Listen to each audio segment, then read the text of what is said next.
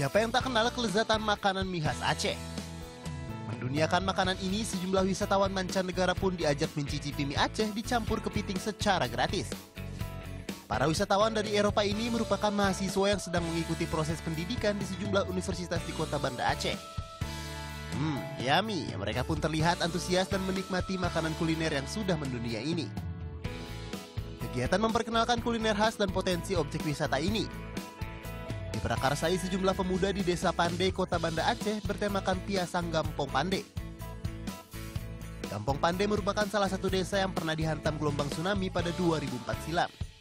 Kini masyarakat Gampong Pandai terus bangkit dengan hasil kreativitas dan membuka berbagai macam usaha termasuk mie khas Aceh. Sebanyak 7 kg mie Aceh dan 12 kg kepiting segar disiapkan pemuda setempat. Mie more than nasi, so I really liked it. And the crab meat was really good. Enak sekali. Uh, no, we don't have in our country. We, in my country, in Lithuania, we eat a lot of potatoes, uh, potatoes and meat.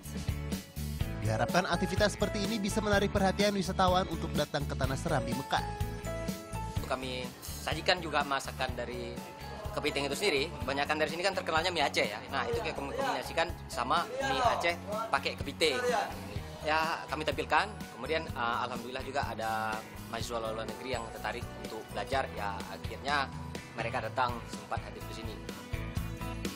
Selain kuliner, kegiatan yang berlangsung selama dua hari ini turut memperkenalkan situs-situs budaya di Desa Pande. Seperti makam Tengku di kandang dan sisa-sisa peninggalan kerajaan Aceh pada masa dahulu. Munandar Syamsuddin melaporkan untuk NET.